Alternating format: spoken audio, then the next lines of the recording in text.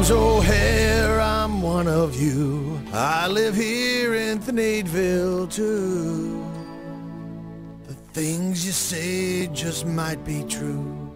It could be time to start anew and maybe change my point of view. Nah, I say let it die. Let it die.